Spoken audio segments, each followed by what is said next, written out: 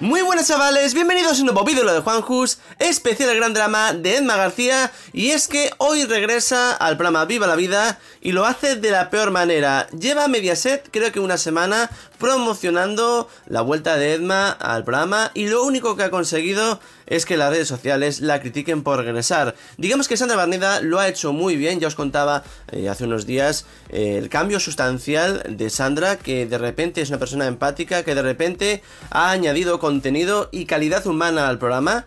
Eh, y eso que los contenidos del programa últimamente dejan mucho que desear debido a Raúl Prieto, que ya sabéis que viene de Sálvame con esa misión. Y digamos que la protegida de Basile Edma García regresa después de las vacaciones con muchos problemas. Para empezar, eh, tener que mantener la audiencia de Sandra que ha subido en estos fines de semana de verano. Eh, también eh, intentar que las redes sociales la apoyen un poco más, que primero tenían en contra a los seguidores de Toñi Moreno y ahora tienen en contra a los seguidores de Sandra Barneda. Es decir, Edma solo se crea como enemigos por el camino, ¿no?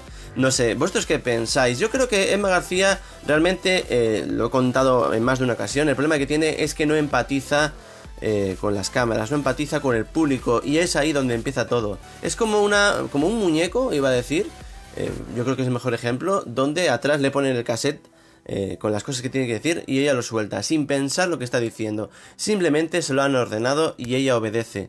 Y un presentador no hace eso. Un presentador, aparte de comunicar, también intenta que el espectador esté con ella, ¿no? En el plató. ¿Me entendéis más o menos, no? ¿Vosotros qué pensáis? Comentar, opinar, darle like al vídeo, compartir el vídeo y buen fin de semana. Nos vemos en un próximo videolog. ¡Chao!